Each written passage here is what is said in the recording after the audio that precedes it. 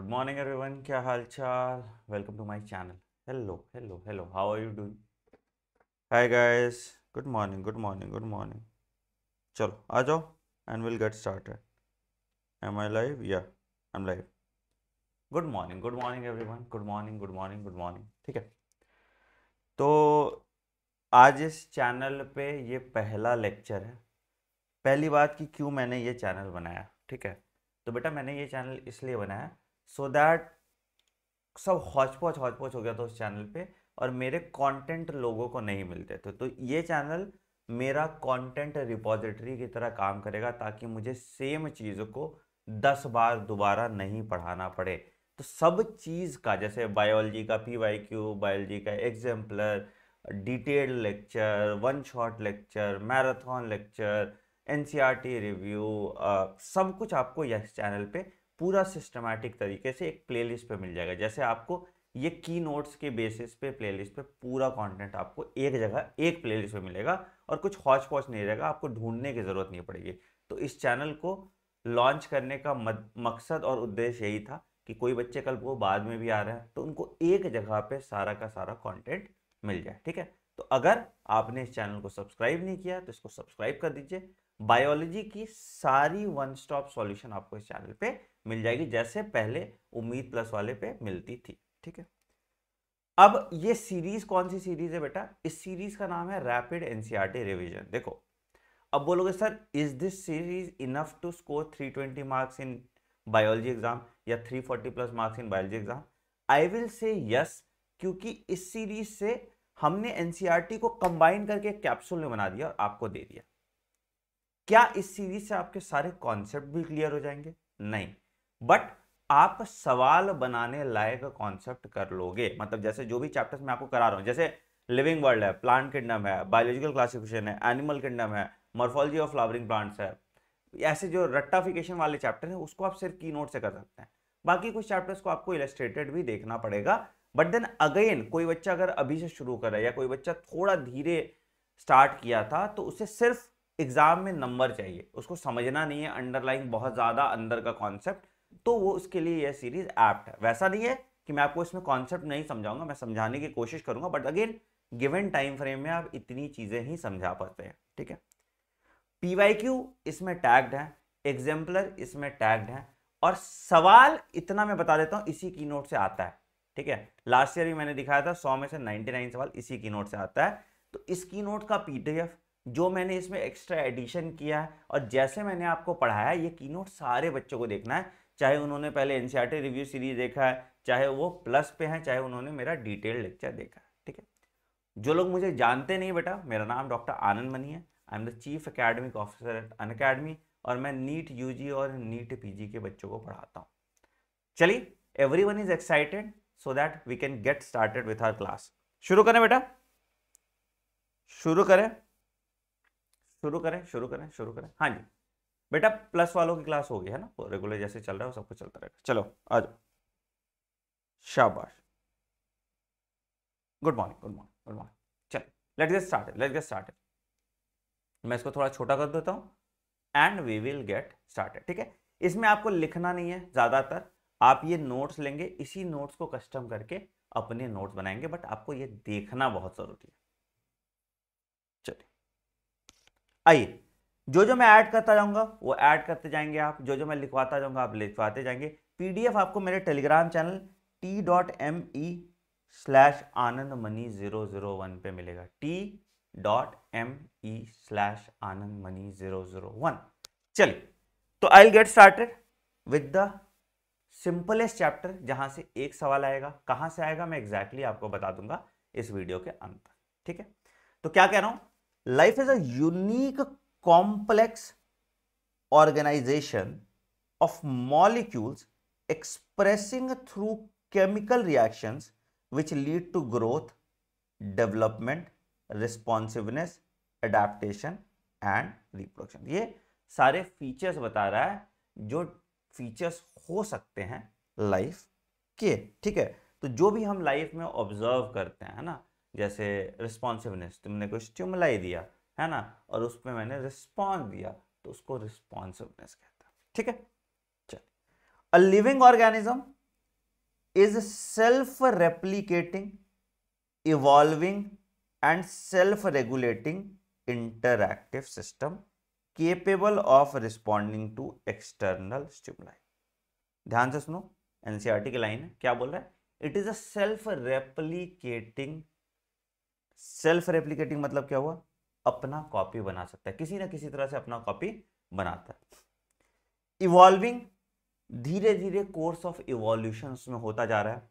Self regulating अपना body का temperature अपना हार्मोन का लेवल अपना जो भी उसका फिजियोलॉजिकल मैकेनिज्म है, उसको रेगुलेट करके रखता है।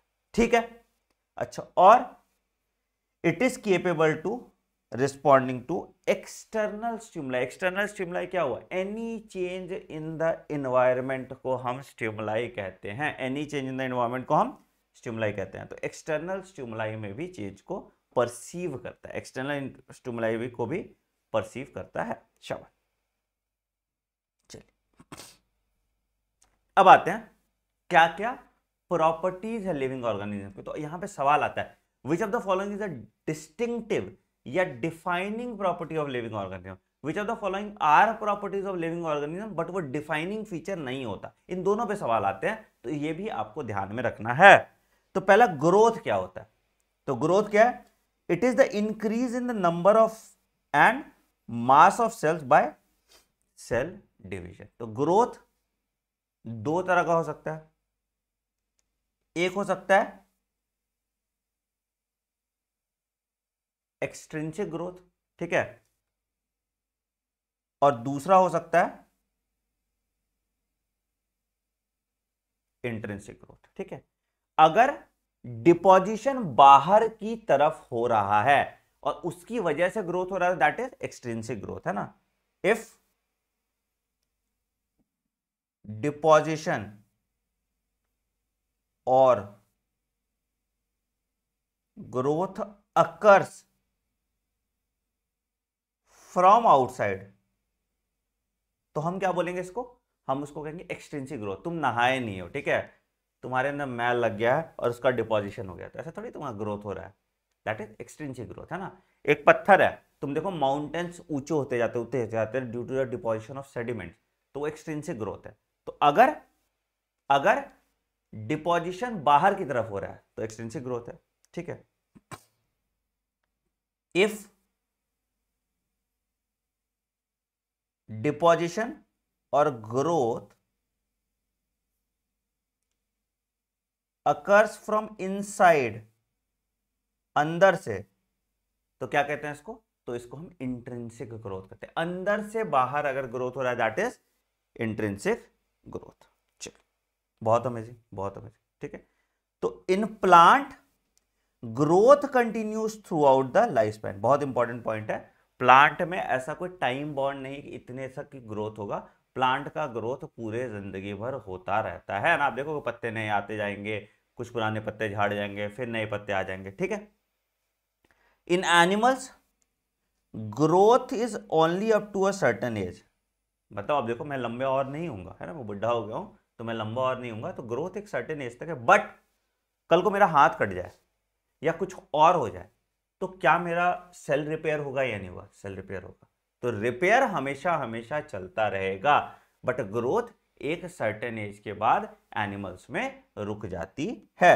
तो however cell division occurs to replace lost cell ठीक? ग्रोथ होता क्या है? It is an increase in mass and size but non living thing भी तो ग्रो कर सकते हैं। तुम देखो ना, अगर मान लो ये बॉटल है, ठीक है? अब इस बॉटल पे हम प्लास्टिक चिपकाते जाएँगे प्लास्टिक चिपकाते जाएँगे प्लास्टिक चिपकाते जाएँगे, या प्लास्टिक का डिपोजिशन कराते जाएँगे तो इसका साइज़ तो बड़ा होता ही जाएगा। तो क्या फ़ायदा हुआ? क्या ग्रोथ डिफाइनिंग प्रॉपर्टी हुआ लिविंग ऑर्गेनिज्म का? No sir growth is not a defining feature of living organism but but अगर हम इंट्रेंसिक ग्रोथ की बात करेंगे तो intrinsic growth is a defining feature of living organism ठीक है? तो in living organism growth is from inside तो intrinsic growth is a defining feature of living organism but अगर हम सिर्फ़ ग्रोथ की बात करें तो growth is not a defining feature of living organism clear है? Growth is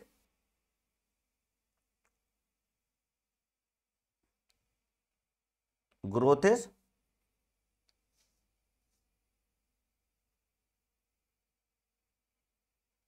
not a defining feature of living organism क्यों नहीं है? क्योंकि जैसा मैंने पहला चीज़ बताया कि मान लो एनिमल में एक एज के बाद ग्रोथ हो जाती है, मर थोड़ी जा रहा है, वो ज़िंदा तो है। ठीक है? Intrinsic growth is a defining feature of living organism ठीक है? अगर आपको स्पेसिफिकली दिया इंट्रेंसिक ग्रोथ तो वो डिफाइनिंग फीचर है। Intrinsic growth is a defining feature of living organs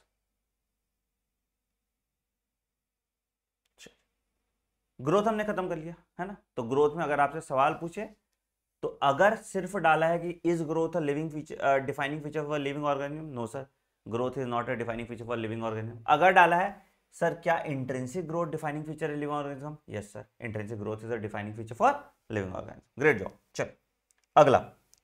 दूसरा आते हैं रिप्रोडक्शन पे. दूसरा आते हैं रिप्रोडक्शन पे। क्या रिप्रोडक्शन डिफाइनिंग फीचर है लिविंग ऑर्गेनिज्म का? रिप्रोडक्शन क्या होता है? तो it is the production of progeny having feature similar to those of parents parents से सिमिलर अगर कोई प्रोजेनी है, ठीक है तो उसको हम रिप्रोडक्शन कहते हैं। तो कैसे रिप्रोड्यूस कर सकता है? एसेक्सुअली बिना सेक्स के and sexually sexual reproduction involve होगा, है ना? तो दो तरह से रिप्रोडक्शन होता है। एक होता है एसेक्सुअल रिप्रोडक्शन और दूसरा होता है सेक्सुअल रिप्रोडक्शन ठीक है?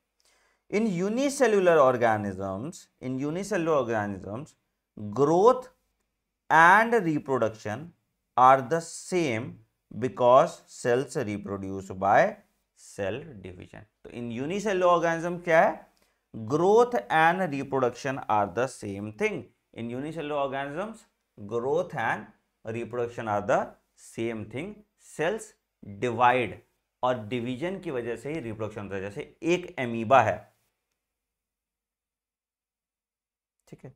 ये एमीबा डिवाइड करके दो एमीबा बनाएगा, ठीक है? तो इन दिस केस क्या दिख रहा है आपको? Growth and reproduction are the same thing. Growth and reproduction are the same thing, ठीक है? Many organisms do not reproduce है ना? जैसे म्यूल्स म्यूल्स होता है ना, फीमेल हॉर्स और मेल डंकी को क्रॉस करते तो म्यूल बन जाता है, ठीक है? वर्कर बी वर्कर बी, तुम्हारी फीमेल बी होती हैं जो स्टेराइल होती हैं, है ना? फीमेल बी होती हैं जो स्टेराइल होती हैं, ठीक है? इनफर्टाइल ह्यूमन कपल्स, अब ये सब ज़िंदा तो हैं, बट क्या ये रिप्रोड्यूस कर रहे हैं? नहीं सर, ये रिप्रोड्यूस नहीं कर रहे हैं। इसीलिए reproduction is also not a defining feature for living organism. Reproduction is also not a defining feature for living organism clear है? तो बहुत इंपॉर्टेंट पॉइंट मेंशन कर दीजिए कि reproduction is not a defining feature for living organism ठीक है? दूसरा point क्या इंपॉर्टेंट था? कि यूनिसेलुलर ऑर्गेनिजम्स में growth and reproduction are the same unicellular organisms में growth and reproduction are the same worker bee male sterile है ना? नहीं बेटा, देखो, बी में क्या होता है? बी में क्या होता है? एक तो क्वीन होती है, फर्टाइल है, ठीक है? ये फीमेल होती है, ठीक है? एक होता है ड्रोन्स, ये फर्टाइल होता है, ये मेल होता है, और ये पार्थेनोजेनेसिस से बनता है, ठीक है? और एक होती है वर्कर भी, ये भी फीमेल होती है और ये ये भी फीमेल होती है और ये स्टेराइल होती है। मतलब ये बच्चा पैदा नहीं कर सकती, है ना? ठीक है, ये भी फीमेल होती है और ये स्टेराइल होती है। चलिए। बहुत बढ़िया, है ना? ड्रोन फर्टाइल होता है याद रखिएगा, है ना? ड्रोन फर्टाइल होता है ड्रोन स्टेराइल नहीं होता। तीसरा आते हैं दैट इज़ मेटाबॉलिज्म तीसरा आते हैं दैट इज़ मेटाबॉलिज्म मेटाबॉलिज्म आपको पता है? मेटाबॉलिज्म होता है कैटाबॉलिज्म प्लस एनाबॉलिज्म तो metabolism is the sum total of all biological reaction taking place in a living system sum total of all biological reaction taking place in a living system तो metabolism क्या होगा? Metabolism is equal to catabolism plus anabolism तो जितना breakdown का process होता है, इसको हम कैटाबॉलिज्म कहते हैं। और जितना एडिशन का प्रोसेस होता है, इसको हम एनाबॉलिज्म कहते हैं। ठीक है। मेटाबॉलिज्म क्या हुआ? टोटल लिविंग रिएक्शन, जितने भी लिविंग रिएक्शन मेरे बॉडी में हो रहे हैं, उसको हम मेटाबॉलिज्म कहते हैं। तो it is the defining feature of living organism सभी लिविंग ऑर्गेनिज्म में जो भी ज़िंदा है मेटाबॉलिज्म होगा। तभी तो एनर्जी प्रोड्यूस होगा, तभी तो फ़ूड स्टोर होगा, तभी तो बॉडी अपने आप को रेगुलेट कर पाएगा। इसलिए metabolism is a defining feature for living organism इसलिए metabolism is a defining feature for living organism, ठीक है? Metabolic reactions can be demonstrated outside the body अब कुछ मेटाबॉलिक रिएक्शन है जो बॉडी के बाहर भी हो सकते हैं। मान लो, हम बोलते हैं ना कि अगर मान लो कि मैंने पोटेशियम डाइक्रोमेट को बर्न किया है ना? तो वो रिएक्शन है। This is a catabolic reaction तो सेल के बाहर भी रिएक्शन हो सकता है। है ना? तो metabolic reaction can be demonstrated outside the body in cell free system ठीक है? तो isolated metabolic reactions are in vitro, are living, not living things, but living reaction, बहुत इंपॉर्टेंट पॉइंट है।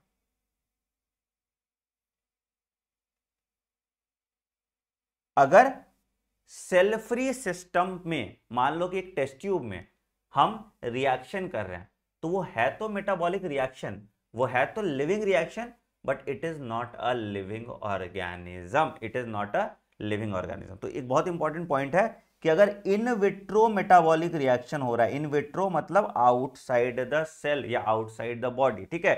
या टेस्ट्यूम में। तो याद रखिएगा in vitro outside the body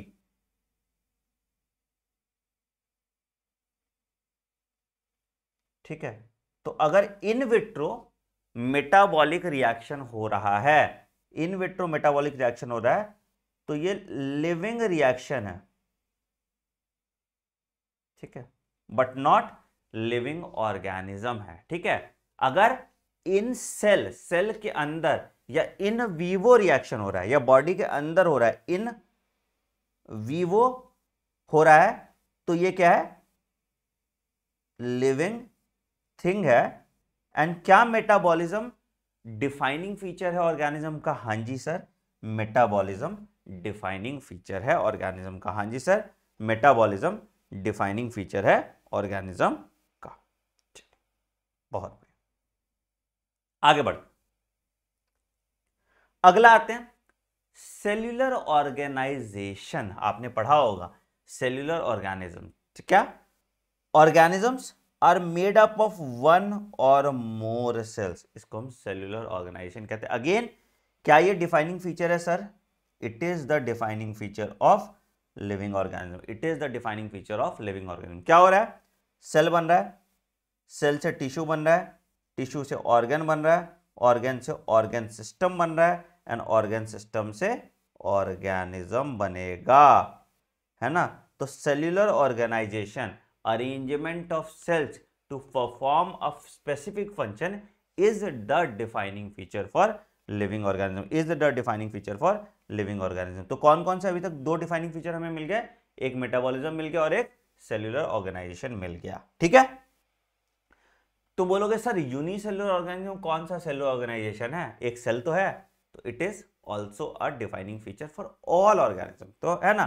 तो it is a defining feature for all organisms है ना, इसका कोई एक्सेप्शन नहीं होगा, इसका कोई एक्सेप्शन नहीं होगा, ठीक है? चलिए। अगला आते हैं कॉन्शियसनेस या रिस्पॉन्सिवनेस कॉन्शियसनेस या रिस्पॉन्सिवनेस क्या होता है? It is the ability of organisms to sense the environment sense the environment मतलब क्या हुआ? इसको हम कहते हैं जो any change in the environment is called stimuli any change in the environment is called stimuli ठीक है? And respond to environmental stimuli like external stimuli में रिस्पॉन्स कर रहा है। तो स्टिमुलाई क्या हो सकता है? लाइट हो सकता है वाटर हो सकता है टेम्परेचर हो सकता है, कोई दूसरा ऑर्गेनिजम्स हो सकता है, कुछ केमिकल हो सकता है, कुछ पॉल्यूटेंट होता है, कुछ भी कुछ भी चेंज जो एक्सटर्नल इन्वायरमेंट में आया मेरे और हम उस पर किसी प्रकार से रिस्पॉन्ड कर रहे हैं तो वो मेरा कॉन्शियसनेस है, या वो मेरा रिस्पॉन्सिवनेस है है ना? वो मेरा कॉन्शियसनेस है, या वो मेरा रिस्पॉन्सिवनेस है। तो ये कॉन्शियसनेस और रिस्पॉन्सिवनेस दोनों डिफाइनिंग फीचर है लिविंग ऑर्गेनिज्म का। क्या हो रहा है? कि मेरे एक्सटर्नल इन्वायरमेंट में कोई चेंज आ रहा है, ठीक है? तो any change in the external environment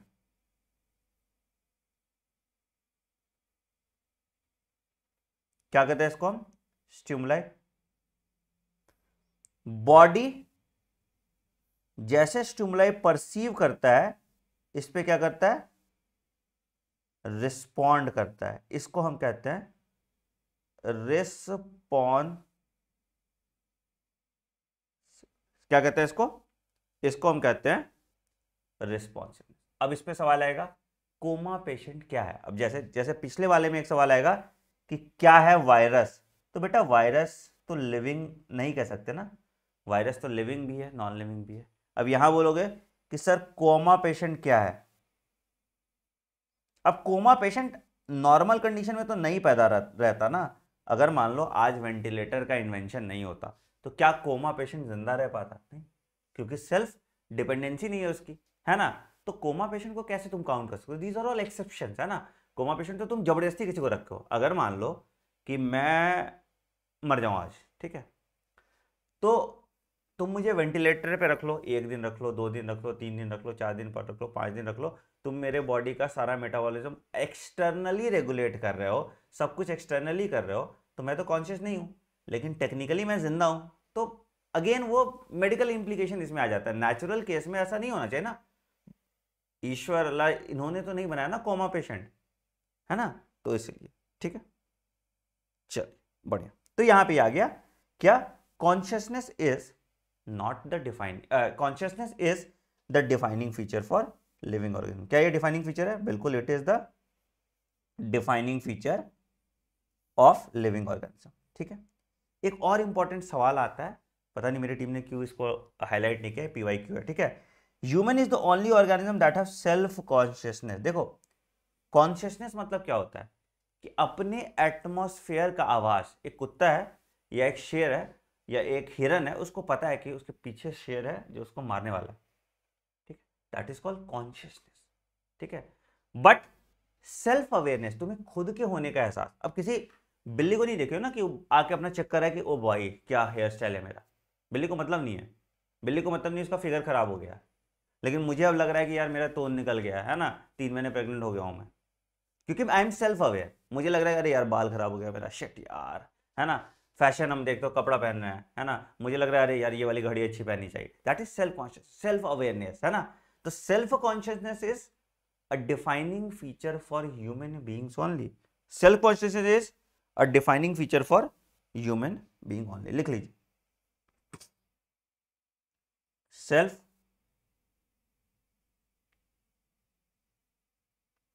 is a defining feature for human beings only चलिए। बहुत अमेजिंग बहुत अमेजिंग आओ, आगे बात करते हैं। अब आते हैं। आपने समझ गया डिफाइनिंग फीचर कौन कौन सा था? सेल्फ कॉन्शियसनेस ह्यूमन बींग के लिए। लिविंग ऑर्गेनिज्म के लिए पूछा जाए तो कौन सा है?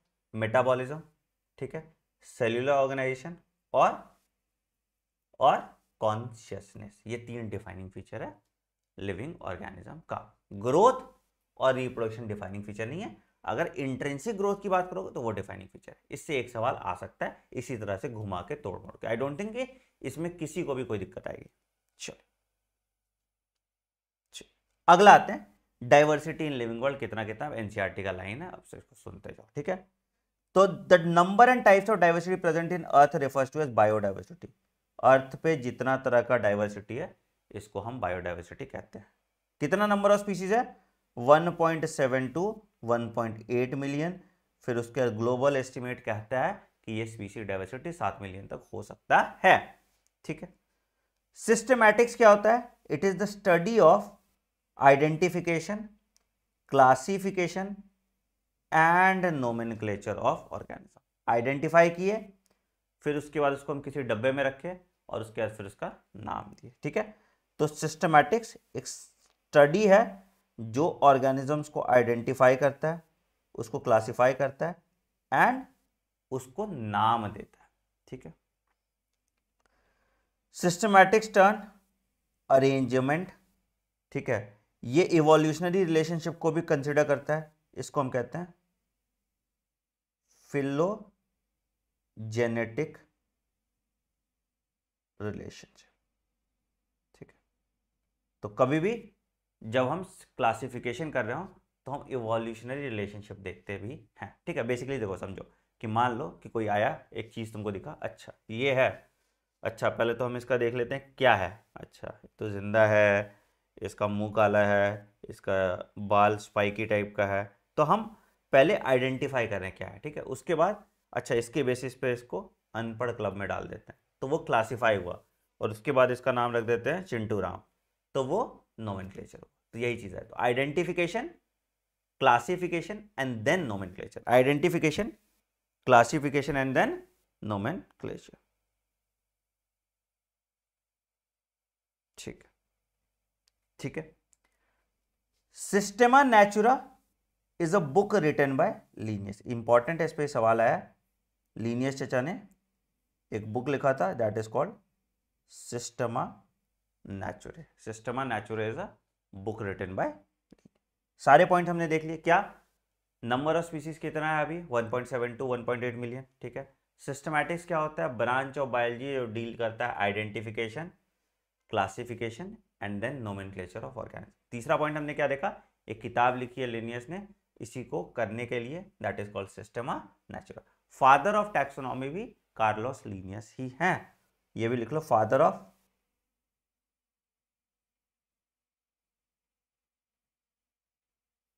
क्या है? फादर ऑफ़ टैक्सोनॉमी भी हमारे लीनियस चाचा ही हैं। ठीक है। आगे बढ़ो। अगला आते हैं। क्या क्या प्रोसेस होता है टैक्सोनॉमी का? ठीक है। सबसे पहला सबसे पहला हमने क्या किया? कैरेक्टराइजेशन कि किस तरह का ऑर्गेनिज्म है, ठीक है? तो बेसिक प्रोसेस ऑफ़ टैक्सोनॉमी है कि कोई एक ऑर्गेनिज्म आया तो मैंने क्या किया? कैरेक्टराइज किया। Understanding the characters of organism, such as external and internal structure कैसा है, सेल कैसा है, उसका डेवलपमेंटल प्रोसेस कैसा है, इकोलॉजिकल इंफॉर्मेशन कैसा है और इवोल्यूशनरी रिलेशनशिप कैसा है, ठीक है? उसके बाद उस ऑर्गेनिज्म का करेक्ट डिस्क्रिप्शन बताया कि भाई ऐसा ऑर्गेनिज्म है। I have identified this organism and this is the feature of this organism ठीक है? तो पहले मैंने ऑर्गेनिज्म को आइडेंटिफाई किया। अच्छा। उसके बाद फिर मैंने उसको डिफरेंट कैटेगरीज में रखा। तो it is the grouping of organism into convenient categories based on character तो उसके लक्षण के हिसाब से उसको मैंने कैटेगराइज किया। तो उसको हम क्लासिफिकेशन कहते हैं। तो पहला स्टेप इज़ आइडेंटिफिकेशन दूसरा इज़ क्लासिफिकेशन और उसके बाद फिर अब जब घर पे कोई आया तो उसका नाम तो रखोगे, है ना? तो फिर उसका नाम रखा गया। The third step is called nomenclature तो सीक्वेंस आता है, आपसे पूछता है कि भैया किस किस सीक्वेंस में क्या हो रहा है? तो पहला स्टेप क्या है ब्रो पहला स्टेप इज़ आइडेंटिफिकेशन हमने ऑर्गेनिजम्स को आइडेंटिफाई किया उसके बारे में बताया, ठीक है? आइडेंटिफिकेशन हमने उसको स्टडी किया, उसके बारे में सब कुछ जानकारी प्राप्त की और उसको बारे में बताया, ठीक है? दूसरा स्टेप हमने बताया सर कि क्लासिफिकेशन अब इस ऑर्गेनिज्म को हम रख कहाँ रहे हैं? दैट इज़ क्लासिफिकेशन इस ऑर्गेनिज्म को हम रख कहाँ रहे हैं? दैट इज़ क्लासिफिकेशन और तीसरा पार्ट है बेटा इस नोमेनक्लेचर इसको हमने एक नाम दिया, चिंटू राम का जो नाम दिया इसको हम कहते हैं नोमेनक्लेचर ठीक है? तो नोमेनक्लेचर क्या है? It is the standardization of names of organism such as organism in name by the same name over the world अब देखो, पता है मतलब लौकी, तोरी, कुछ भी कह देते हैं उसको, पता है? अगर लोकल नेम है, ठीक है? तो लोकल नेम में मान लो इस प्लांट को कुछ कह रहे होंगे, इस प्लांट का नाम कुछ होगा, ठीक है? अब कहीं और जाओगे तो उसका नाम कुछ और हो जाएगा, कहीं और जाओगे तो उसका नाम कुछ और हो जाएगा। तो अगर हम एक नाम दे दें और पूरी दुनिया में उसी नाम से उसको जाना जाए तो कोई दिक्कत नहीं होगा ना? मान लो कि मैं गया किसी साइंटिफिक कॉन्सर्ट में या कॉन्वोकेशन कुछ कहीं पे भी साइंटिफिक फेटनिक से मैं इंटरेक्ट कर रहा हूँ। मैं बोल रहा हूँ ना, यार आलू बहुत बढ़िया चीज़ है। उसको क्या पता आलू? है ना? वो तो अंग्रेज़ी में पोटैटो बोल रहा है वहाँ पे। मैं यहाँ आलू आलू कर रहा हूँ, वो पोटैटो पोटैटो कर रहा है। हम बात सेम चीज़ का कर रहे हैं बट हमें नहीं पता स्टैंडर्ड नाम। है ना? है ना? अगर मैं उसको बोलूँ सोलैनम ट्यूबरोसम, उसके लिए भी सोलैनम ट्यूबरोसम है? मेरे लिए भी सोलैनम ट्यूबरेशम है। तो स्टैंडर्ड नाम हो गया और हम लोग आपस में इंटरेक्ट करके बता पाएँगे हाँ भाई यही नाम है। राइट चल। तो इसको हम कहते हैं नोमेन अभी जो हम नोमेन की बात करेंगे, उसको हम बोलते हैं बाइनोमियल नोमेन ये क्लासिफिकेशन भी लीनियस चचा ने दिया था। बाइनोमियल मतलब दो ट्राइनोमियल मतलब तीन पॉलिनोमियल मतलब बहुत सारा और एक कॉमन नेम होता है। तो जैसे नोमेन में पहला है। कॉमन और वर्नैकुलर नेम ठीक है। दूसरा था पॉलिनोमियल क्या होता था? पूरा सब कुछ उसके बारे में एक्सप्लेन कर दिया तब इतना बड़ा नाम थोड़ी याद होगा। अब देखते हो जैसे आता था कि आ, उसका बाहुबली मूवी देखोगे। माहेश्वती साम्राज्य का पूरा लंबा लंबा है ना? कि इसने उसमें, या गेम ऑफ़ थ्रोन देखोगे तो breaker of chains mother of dragon फलना डिगाना उसके बारे में डिटेल में बताया है, ठीक है? उस तरह के नोमिन को हम पॉलिनोमियल नोमिन कहते हैं, जैसे आम है तो आम के बारे में सब कुछ बता देगा लैटिन में। तो उतना नंबर लंबा नाम थोड़ी कोई याद रखेगा, छोटा घर का भी नाम तो होना चाहिए, ठीक है? तो फिर है binomial नोमिन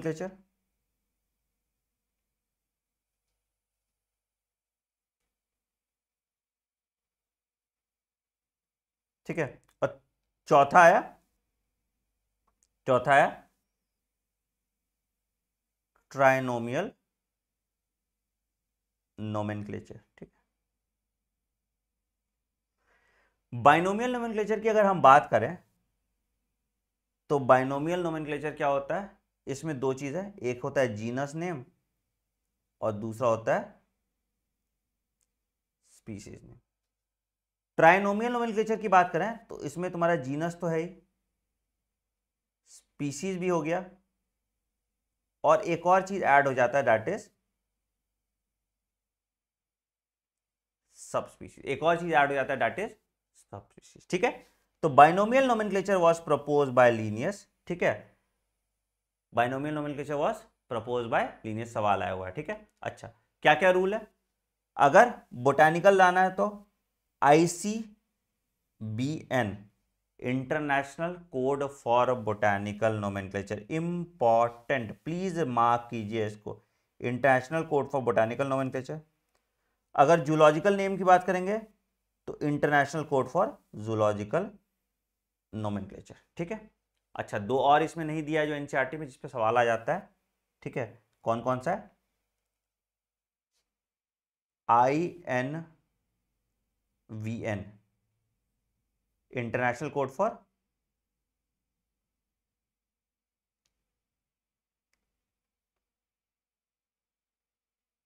viral nomenclature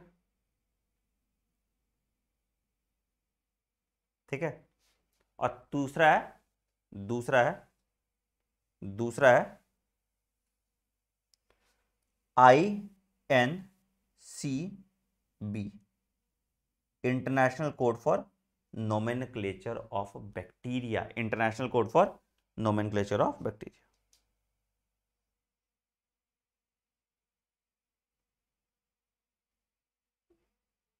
national code for nomen of bacteria ठीक है? ऑफ़ बैक्टीरिया तो scientific names are in Latin ठीक है, याद है? एंड रिटर्न इन इटैलिक्स अगर हाथ रिटर्न हाथ से लिखे हो तो अंडरलाइन होगा, ठीक है? अब एक एक करके रूल क्या क्या है बोटानिकल नोमेनक्लेचर पहला साइंटिफिक नेम कहाँ, कैसा लिखा रहेगा? इटैलिक में लिखा रहेगा। किसी किताब में देखोगे, जितने भी साइंटिफिक नेम है वो इटैलिक्स में लिखे रहेंगे। अगर हाथ से लिखे हो तो उसको अंडरलाइन कर दोगे। ठीक है? पहला वर्ड जो है, वो जीनस नेम है या जेनरिक नेम है, ठीक है? दूसरा वर्ड जो है, वो स्पीसीज नेम है या स्पेसिफिक एपिथेट है, ठीक है? एपिथेट मतलब पार्ट ठीक है? जैसे जैसे अगर मान लो कि होमोसेपियंस है, देखो होमो ठीक है? और सेपियंस अब मैंने लिखा है हैंड राइट तो मैं अंडरलाइन कर दूँगा इसको, ठीक है? अब होमो का ये वाला पार्ट, जो पहला वर्ड है, ये इसका जीनस है। ठीक है? और दूसरा जो है, ये इसका स्पेसिफिक एपी है ना? ये इसका स्पेसिफिक एपिथेट है, या स्पीसीज नेम है। ठीक है? जीनस नेम हमेशा कैपिटल लेटर से स्टार्ट होगा। स्पीसीज नेम हमेशा स्मॉल लेटर से स्टार्ट होगा। ठीक है? ठीक है? Name of the author abbreviated form में भी अपियर होता है। जैसे मैंजी फेरा इंडिका लिन आया था इस पे सवाल 2018 में, या 19 में आया सॉरी मैंजी फेरा इंडिका लिन मतलब नेम ऑफ़ द साइंटिस्ट तो Mangifera indica is mango और इसमें मैंजीफेरा जीनस नेम हो गया, एम कैपिटल लेटर है, इंडिका स्पीशीज नेम हो गया, आई स्मॉल लेटर है और लिन इज़ द साइंटिस्ट का नाम। लिन इज़ द साइंटिस्ट का नाम। ठीक। चलिए अच्छा international code I N C भी नहीं सॉरी हाँ इंटरनेशनल कोड फॉर नोमिन ठीक है। ये यहाँ लिखे इंटरनेशनल कोड फॉर है ना? I C V N sorry international code for viral nomenclature ठीक है? और यहाँ हो गया international code for nomenclature of bacteria I C N B ठीक है? भावना हो गया। International code for nomenclature of bacteria आगे पीछे हो गया तो ठीक है? हाँ ठीक ठीक है? हाँ हाँ अरे हाँ भाई भाई आई एन मैंने इंटरनेशनल का आई एन कर दिया था। ठीक है? चलो, ठीक है? तो जीनस नेम और स्पेसिफिक नेम ठीक? ठीक? Again it was first describe by Linnaeus Mangifera indica Linn तो लिन जो है साइंटिस्ट का नाम आ गया। करेक्ट बायोलॉजिकल नोमेनक्लेचर में साइंटिस्ट का नाम रहता है एवरीविएटेड फॉर्म्स में। चलो, अब आते हैं। टैक्सोनॉमिकल कैटेगरीज क्या होती हैं? तो classification involves hierarchy of steps in which each step is represented by a taxonomical category या रैंक तुम देखोगे ना आर्मी में देखोगे कैप्टन है लेफ्टिनेंट है मेजर है मेजर जनरल है ब्रिगेडियर है देन जनरल है. तो रैंक है हयारकी है, ठीक है? लेवल है है ना? तो उसको हम हयारकी कहते हैं, ठीक है? तो सारा कैटेगरी को अगर जोड़ दोगे तो उसको हम कहते हैं taxonomic hierarchy level level level level level level ठीक है? ईच कैटेगरी हर कैटेगरी एक यूनिट ऑफ़ क्लासिफिकेशन दिखाता है। हर कैटेगरी एक यूनिट ऑफ़ क्लासिफिकेशन दिखाता है। A group of organisms occupying a particular category is called a taxon. A group of organism occupying a particular category is called taxon तो उसका वो टैक्सन हो जाएगा। अगर सिंगुलर है तो टैक्सन है और प्लूरल है तो टैक्स है। तीन स्टेटमेंट हमने देखा पहला कि अगर हमको किसी ऑर्गेनिज्म को क्लासिफाई करना है तो हम हयारकी सेट किए हैं। उस हयारकी को हम टैक्सोनॉमिकल कैटेगरी बोलते हैं। सारी कैटेगरी को जोड़ दोगे तो बन जाएगा तुम्हारा टैक्सोनॉमिक हयारकी ठीक है? एंड यही टैक्सोनॉमी के हयारकी का कैटेगरी यूनिट ऑफ़ क्लासिफिकेशन है। तो याद रखिएगा each category represents a unit of classification ठीक है? उसको हम क्या कहते हैं? उसको अगर टैक्सॉन कहेंगे सिंगुलर है प्लूरल है तो उसको हम टैक्सा कहते हैं। ठीक? कुछ नहीं है इसमें। तो यहाँ पे देखिए किस तरह से हायरकी गया है। तो सबसे छोटा जो है स्पीसीज है, उसके बाद जीनस है, उसके बाद फैमिली है, उसके बाद ऑर्डर है, उसके बाद क्लास है, उसके बाद फाइलम है और उसके बाद किंगडम ठीक है? इसका याद रखने का एक निमोनिक्स होता है। के से किंगडम कीप पी से फाइलम पॉट्स सी से क्लास क्लीन ओ से ऑर्डर और एफ़ से फैमिली फैमिली जी से जीनस गेट्स और एस से सिक तो ऐसे देख लो. Species genus family order class phylum और किंगडम ठीक है? जैसे हम यहाँ से इधर की तरफ़ जाते जाएँगे, जैसे हम इधर की इधर तरफ़ जाते जाएँगे कॉमन कैरेक्टर्स कॉमन कैरेक्टर्स कम होता जाएगा। बहुत इंपॉर्टेंट पॉइंट बता रहे कॉमन कैरेक्टर्स कम होता जाएगा। ये बहुत इंपॉर्टेंट पॉइंट बता रहे हैं। ठीक है? जैसे हम टैक्सोनॉमिकल हायरकी में ऊपर की तरफ़ जाते जाएँगे कॉमन कैरेक्टर्स कम होता जाएगा। तो याद रखिएगा स्पीसीज सबसे छोटा टैक्सोनॉमिकल हायरकी है, ठीक है? तो ये चीज़ आ जाता है। जैसे अपन लोग कुत्ते में देख लो, अब देखो जैसे यहाँ पे कैनिस लूपिस एक कोई डोमेस्टिक डॉग होगा, ठीक है? जीनस में सारा कैनिस आ गया wild dog domestic dog jackal वैकल सब आ गया। फैमिली में पूरी डॉग फैमिली आ गया, ठीक है? ऑर्डर में सब कुछ आ गया अब, ठीक है? क्लास में सारे मेमोलिया वाले में सारा सब कुछ आ गया कॉडेटा में सारे कॉडेट्स आ गए और किंगडम में तुम्हारा एनिमिलिया आ गया। तो इस तरह से जैसे हम ऊपर की तरफ़ जाता जाएँगे कॉमन कैरेक्टर कम होता जाएगा, ठीक है? तो आओ देखो, एक एक करके सारा देख लो। तो स्पीसीज क्या है? It is a group of closely related organisms capable of interbreeding to produce fertile offspring it is the lowest category है ना?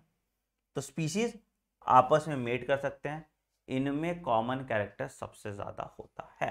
अब नाम किस किस का तुमको याद रखना है, मैं बता देता हूँ, ठीक है? कौन कौन सा होमोसेपियंस याद रखना आपको? मॉडर्न मैन ठीक है? पेंथेरा पार्डस लेपर्ड एनसीआरटी में दिया हुआ है। पेंथेरा टिग्रिस टाइगर एनसीआरटी में दिया है। पेंथेरा लियो लायन एनसीआरटी में दिया है।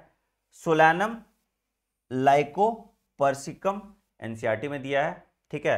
नाइट साइड मत पढ़ो। सोलैनम ट्यूबरोसम, ये भी एनसीआरटी में दिया है, और सोलैनम, मेलोनजिना, ये भी एनसीआरटी में दिया है। बोलो, कैसे याद आएगा सब ब्रिंजल मेलानोजिना ब्राउन इसका, वॉयलेट कलर का है ब्रिंजल है ना? तो मेलानिन लगभग पिगमेंट है तो उस तरह से मेलानोजिमा याद कर लो, ठीक है? मैंजीफेरा इंडिका तो जेनेरिक नेम और स्पेसिफिक एपीथेट इसमें आपका दिया हुआ है। तो सबसे छोटा कैटेगरी क्या है? स्पीशीज ऐसे ऑर्गेनिज्म जो आपस में इंटरब्रीड करेंगे और उससे फर्टाइल ऑफस्प्रिंग प्रोड्यूस होगा, फर्टाइल ऑफस्प्रिंग, क्योंकि वो आगे जनरेशन लेके जाएँगे। ठीक है। दूसरा क्या genus. Aggregation of closely related species को हम जीनस कहेंगे, जैसे पोटैटो, टोमेटो, ब्रिंजल, है ना? तो क्या हुआ? जीनस कौन सा है? सोलैनम। लायन, लेपर्ड और टाइगर। जीनस कौन सा है? Panthera. Panthera leo, Panthera tigris, ठीक है? And genus is different from Felis. Felis किसका है? कैट फैमिली अभी आएँगे। ठीक है। ठीक है। फैमिली क्या हुआ? A group of closely related generalize called family a group of closely related generalize called family बहुत अच्छी बात है। फैमिली क्या हो गया? सोलैनेसी जीनस कौन सा है? सोलैनम है ना? फिर जीनस तुम्हारा Petunia and genus Datura family तुम्हारा फेलिडे है, जिसमें जीनस, पैंथेरा और फेलिस दोनों आ गया, ठीक है? तो एक लिख लो कि अगर फैमिली तुम्हारा फेली डे है तो फेलीडे में दोनों आ गया। कौन कौन सा आ गया? एक तुम्हारा पैंथेरा जीनस और दूसरा तुम्हारा फेलिस। याद रखिएगा, फेलिस जीनस है और फेलीडे फैमिली है, ठीक है? ये बहुत इंपॉर्टेंट है है ना? फेलिडे फैमिली है। सोलैनम जीनस है, सोलानेसी फैमिली है, बहुत इंपॉर्टेंट है, ठीक है? बहुत बढ़िया। अगला assemblage of related family is called order assemblage of related family is called order याद रखिएगा ऑर्डर पॉलिनोमियल इस पे सवाल आया हुआ है पी वाई क्यू है includes family Convolvulaceae and family Solanaceae बहुत इंपॉर्टेंट है। तो अगर पूछ दे कि आलू कौन से ऑर्डर में आता है तो कौन से ऑर्डर में आएगा? पॉलीनोमियल्स आलू कौन से ऑर्डर में आता है तो कौन से ऑर्डर में आएगा? पॉलीनोमियल तो याद रखिएगा कॉन्व्यूलेसे और सोलाने से एक ऑर्डर है दैट इज़ पॉलिनोमियल्स कार्निवोरा में तुम्हारा ये सारा आ जाता है कैट फैमिली डॉग फैमिली दोनों आ जाता है ऑर्डर कार्निवोरा में।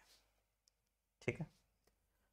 Assemblage of related order is called class तो प्राइमेटा कार्निवोरा वगैरह तुम्हारा आ जाएगा क्लास मेमेलिया में, ठीक है?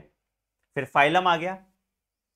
डिवीज़न होता है इन केस ऑफ़ प्लांट याद रखिएगा। प्लांट में फाइलम नहीं होता प्लांट में डिवीज़न होता है एनिमल्स में फाइलम होता है, ठीक है? ये बहुत इंपॉर्टेंट पॉइंट याद रखिएगा, ठीक?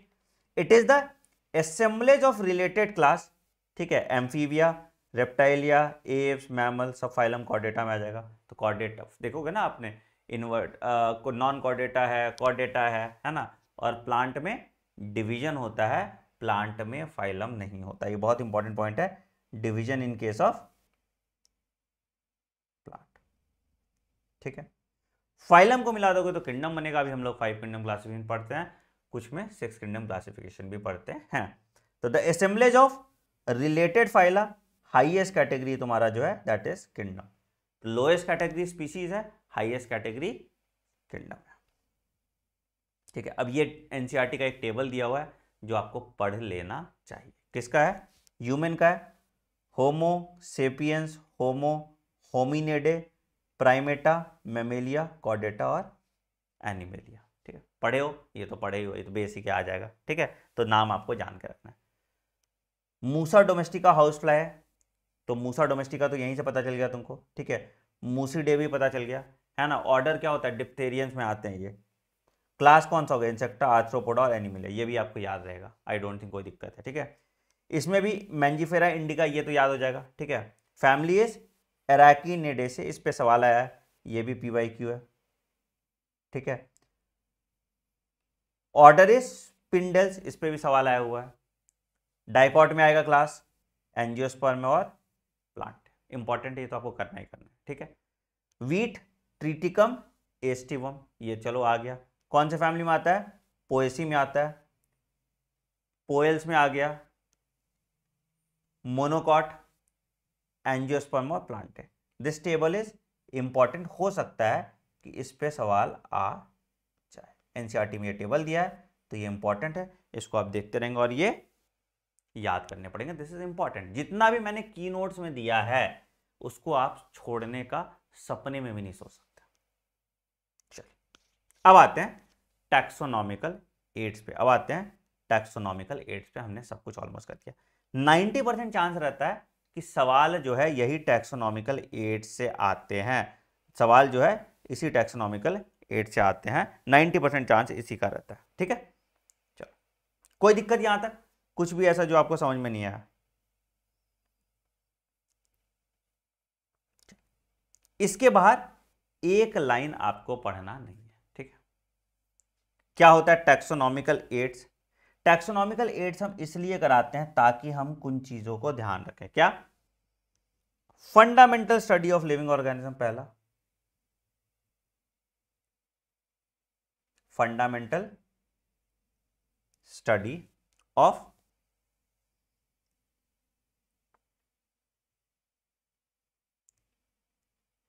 different living organism ठीक है? दूसरा, हमको उसके सिस्टमैटिक स्टडी में हेल्प करता है, कैसे पढ़ेंगे? ठीक है? और तीसरा स्टोरेज ऑफ़ इंफॉर्मेशन में हेल्प करता है। ठीक है? स्टोरेज ऑफ़ इंफॉर्मेशन ठीक है? आओ सारे टैक्सोनॉमिकल एड्स जो हेल्प कर रहा है हमको टैक्सोनॉमी पढ़ने में टैक्सोनॉमी समझने में और उसके नोमेनक्लेचर करने में। क्या? पहला है हरबेरियम, पहला है हरबेरियम। हरबेरियम क्या होता है बेटा? It is the storehouse of plant specimen बहुत इंपॉर्टेंट पॉइंट लिखो, जो जो हाईलाइट में करते जा रहा हूँ, उसको करते जाओ। Store house of plant specimen क्या करते हैं? एक पौधा लिए। पौधा को सुखाए और उसके बाद उसको पेपर में डाल दिए और उसको फिर मार्क कर दिए, ठीक है? इसको हम हर्बेरियम कहते हैं। तो the plant is dried pressed and preserve on sheets and arrange according to universally accepted classification ठीक है? हर्बेरियम शीट क्या क्या चीज़ से लेवल्ड होते हैं? इस पर सवाल आया हुआ है। Information about date place of collection English name local name and botanical name family और उसका कलेक्टर नेम सब कुछ हर्बेरियम में रखा जाता है। तुमको कोई गुलाब का फूल देता है, तुम देखो किताब में से चपटा करके रख देते हो तो प्रिजर्व होकर रह जाता है। वही हर्बेरियम है कि किसी प्लांट स्पेसिमेन को हमने सुखाया, उसको प्रिजर्व किया, उसको प्रेस किया और उसको पेपर में चिपका दिया और उसके बारे में सब कुछ लिख दिया। क्या क्या लिखा हमने? किस डेट को कलेक्ट किया? उसके बारे में इंफॉर्मेशन उसका कलेक्टर का नाम, उसका इंग्लिश नेम उसका साइंटिफिक नेम सब कुछ हमने उसमें डाला इसको हम हर्बेरियम कहते हैं। याद रखिएगा store house for plant species only herbarium is a store house for plant species only याद रखिएगा, ठीक है? सबसे बड़ा हर्बेरियम कौन सा है? Royal Botanical Garden Kew is the largest herbarium जहाँ पे बोटानिकल गार्डन है, उसी का सुखा के हर्बेरियम भी बना दिया वहाँ पे। ठीक है? चलिए। दूसरा बोटानिकल गार्डन क्या होता है बेटा? बोटानिकल गार्डन तो they are specialize garden having collection of living plants for reference and identification reference और आइडेंटिफिकेशन के लिए लिविंग प्लांट्स को अगर हम देख रहे हैं तो उसको हम बोटानिकल गार्डन कहते हैं। ठीक है? उसको हम बोटानिकल गार्डन यहाँ क्या है? लिविंग प्लांट्स है। कैसा कंजर्वेशन कर रहे हैं हम? एक्स सी टू कंजर्वेशन कर रहे हैं मतलब उसके नेचुरल हैबिटेट से ला रहे हैं उसको। यहाँ अच्छे हैबिटेट में रख के कंजर्व कर रहे हैं। बट याद रखिएगा, ये लिविंग है। ठीक है? तो specialize garden having collection of living plant for reference ठीक है?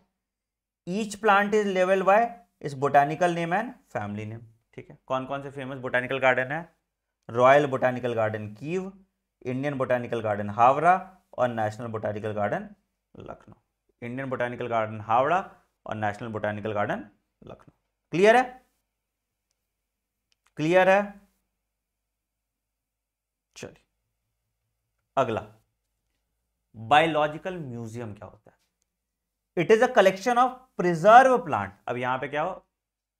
It is a collection of preserve plants and animals for study and reference अब यहाँ पे डेड हैं।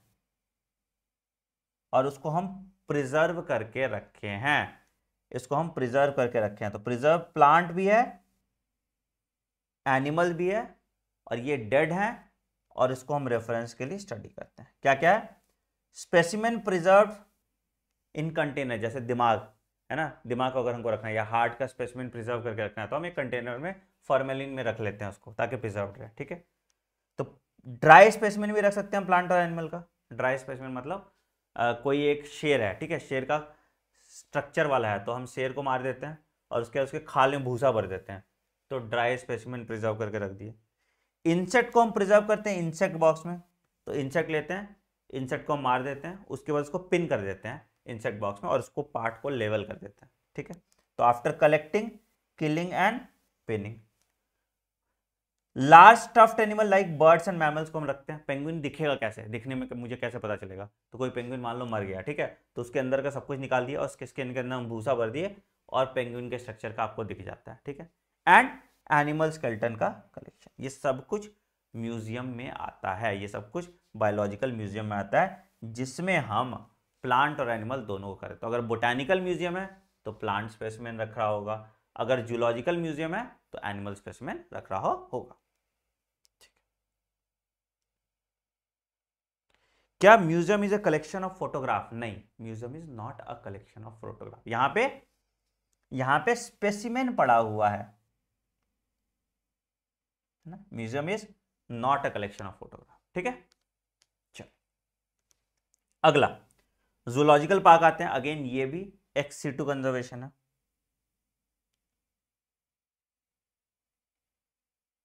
ये भी एक्स टू कंजर्वेशन है। क्या क्या हो रहा है? यहाँ पे live wild animals are kept in protected environment under human care under human care तो live wild animals are kept in protected environment under human care is zoological park यहाँ पे ज़िंदा है, ठीक है? अगेन ये भी एक्सोटो कंजर्वेशन यहाँ पे एनिमल्स को रख रहे हैं उसके नेचुरल हैबिटेट से बाहर लाके, ठीक है? They help us to learn about food and behaviour ठीक अब आते हैं कुछ टैक्सोनॉमिकल एड्स में आ गया और भी समान जिस पे सवाल आता है। पहला, सबसे पहला सबसे पहला, क्या? Key. It is a device use to identify organism based on similarities and dissimilarity key समझते चाबी। अब बोलेंगे कि भाई एक ये चीज़ है, कोई भी चीज़ है, कोई एक ऑर्गेनिज्म है, मान लो मान लो ये ऑर्गेनिज्म है, ठीक है? अब इसका देखेंगे अच्छा इसका नाक खड़ा है, नहीं खड़ा है। तो सिमिलर और डिसिमिलैरिटी के बेसिस पे हम उसको आइडेंटिफाई करते हैं और उसको हम की कहते हैं। तो की क्या है? Is the device use to identify organism based on similarities and dissimilarities ठीक है? तो कॉन्ट्रास्टिंग कैरेक्टर्स हम लेंगे। इन कॉन्ट्रास्टिंग कैरेक्टर को हम पेयर कहते हैं या कपलेट कहते हैं। पहला सवाल आता है। क्या? तो कपलेट क्या हुआ? Contrasting characters that appear in pair is called couplet ठीक है? हर कपलेट में दो ऑपोजिट ऑप्शन होता है, ठीक है? और हर स्टेटमेंट को हम लीड कहते हैं। एंड याद रखिएगा की इज़ एनालिटिकल इन नेचर बता रहा है ना, या तो ये है, या तो ये है। Key is analytical key is analytical in भैया, या तो ये वाला है, या तो ये वाला है। तो की हमेशा एनालिटिकल नेचर रहता है, ठीक है? हर स्टेटमेंट जो है उसको हम लीड कहते हैं। स्टेटमेंट जो है कॉन्ट्रास्टिंग कैरेक्टर पे बेस्ड है तो उसको हम कपलेट कहते हैं। कपलेट में एक एक्सेप्ट होगा, एक एक्सेप्ट नहीं होगा, ठीक? अब क्या है? दूसरा flora flora is the actual account of habitat and distribution of plant species in a given area एक गिवन एरिया में अगर हम प्लांट स्पीशीज का पूरा एक्चुअल अकाउंट देखें तो उसको हम क्या कहेंगे? फ्लोरा तो flora is the actual account of habitat distribution of plant species of a given area एक गिवन एरिया में जहाँ पे किस किस तरह के प्लांट स्पीसीज रहते हैं उसको फ्लोरा कहते हैं। एनिमल स्पीसीज के लिए यही क्या हो जाएगा? फौना एनिमल स्पीसीज के लिए यही क्या हो जाएगा फौना ठीक है दूसरा हमने बात किया मैनुअल्स। मैनुअल्स क्या होता है bro? Manuals are record that contains information for definition identification identification identification हो गया, ठीक है। इसीलिए मैंने डायरेक्टली नोट और identification of names of species found in that area ठीक है? तो मैनुअल क्या है? इंफॉर्मेशन का मैनुअल देखते हो ओनर मैनुअल होता है। ओनर मैनुअल क्या होता है? ओनर मैनुअल देखोगे एक गाड़ी है मेरे पास।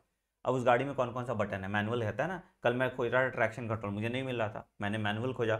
मैनुअल लिखा था, यहाँ पे ये वाला बटन प्रेस करोगे तो ट्रैक्शन कंट्रोल आ जाएगा, ठीक है? तो manuals are the record that content information for identification and name of species found in that area ठीक है? अच्छा। फिर मोनोग्राफ क्या है?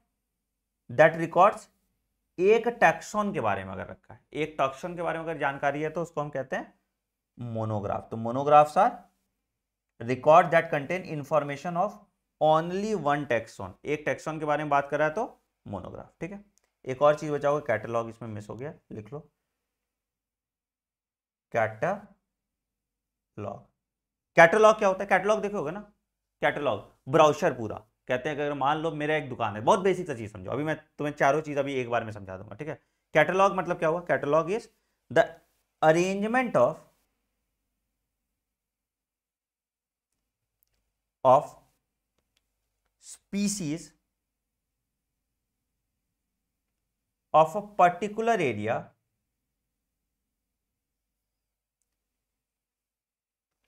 defining their features. Defining their features ठीक है? समझो बेसिकली समझो। बहुत बहुत बेसिक सा एग्जांपल तुम्हें समझाता हूँ मैं, ठीक है? मान लो, एक दुकान में तुम गया ठीक है? एक दुकान में गया अब दुकान में जो भी सामान है फ्रिज है टीवी है ये है, वो है, ठीक है? अब एक फ्रिज तुमने देखने के लिए गए तुम फ्रिज देखने गए तो तुमको एक कैटलॉग पकड़ा दिया कि, सर सैमसंग वाला, इसमें ये वाला फ्रिज भी है, ये वाला फ्रिज भी है, ये वाला फ्रिज भी है, ये वाला फ्रिज भी है, ये वाला फ्रिज भी है। तो अगर मान लो कि तुम एक शॉप पे गए लेट से कि तुम एक शॉप पे गए, ठीक है? अब इस शॉप में सब कुछ है। तो शॉप मान लो कि तुम्हारा इकोसिस्टम जहाँ सब कुछ है, ठीक है? अब इसमें मान लो तुम गए वॉशिंग मशीन देखने या फ्रिज देखने, कुछ भी गए, ठीक है? तो जैसे मैं वॉशिंग मशीन देखने जाऊँगा जो मेरा सेल्समैन है, मुझे एक कैटलॉग देगा। सर, ये वाला वॉशिंग मशीन है, ये वाला वॉशिंग मशीन है, ये वाला वॉशिंग मशीन है, ये वाला वॉशिंग मशीन है, ना एक कैटलॉग दे देगा, ठीक है? देख लिया अब इस वॉशिंग मशीन में तुम्हें पसंद आया कि सैमसंग का model number F two zero eight हमको लेना है। मान लो, कोई एक सैमसंग का model F two zero eight लेना है। अब इसके, ये एफ़ टू ज़ीरो एट कैसे काम करेगा? तो उसके लिए मेरे पास है मैनुअल, उसके लिए मेरे पास है मैनुअल। यही डिफरेंस होता है कैटलॉग और मैनुअल में, जो आप कंफ्यूज करते हैं। तो हमने इस चैप्टर को श्रद्धांजलि दे दी। इस चैप्टर को तो कहीं और से तुमको पढ़ने की ज़रूरत ही नहीं है। This is more than sufficient जाइए, इसका पीवाई कराइए, इसका एग्ज़ाम्पल कराइए। आपको इसके पीवाई क्यू और एग्जाम्पलर दोनों मेरा एक चैनल है नीट क्वेश्चन बैंक ठीक है? वहाँ जाइए। वहाँ पे पूरी प्लेलिस्ट बनी हुई है पीवाई क्यू और एग्जाम्पलर की। इसके पीवाई क्यू और एग्जाम्पलर जाके वहाँ से देख लीजिए। हमेशा पीवाई क्यू और एग्जाम्पलर करना आपको खुद से। जिस क्वेश्चन में डाउट हो, उसका जाके वीडियो देख लो, ठीक है? पीवाई क्यू और एग्जाम्पलर की पीडीएफ इसकी आपको टेलीग्राम चैनल पर मिल जाएगी। T dot M E slash Anand money zero zero ठीक है? कमेंट सेक्शन से आपका भर जाना चाहिए। Hashtag day one of revision है ना? ये फाइनल रिवीजन है। इसके बाद आपको दोबारा पढ़ने की ज़रूरत नहीं है। इसका पीडीएफ आप रख लीजिएगा। एग्ज़ाम के दिन आप इस की नोट की मदद से पूरा चैप्टर चुटकियों में रिवाइज कर पाएँगे। पूरा बायोलॉजी का सिलेबस या पूरी बायोलॉजी किताब तीन घंटे में रिवाइज कर पाएँगे। तो एग्ज़ाम के एक दिन पहले ये कुंजी की तरह काम करेगा और आपको बहुत हेल्प करेगा। वीडियो पसंद आया तो वीडियो को लाइक कीजिएगा। चैनल को सब्सक्राइब कीजिएगा। कल मिलेंगे बायोलॉजिकल क्लास के क्लास में। कमेंट ज़रूर कर देना। And I'll see you in the plus class at two P M जहाँ हम प्लांट ग्रोथ एंड डेवलपमेंट करेंगे। Take care bye bye and have a great day thank you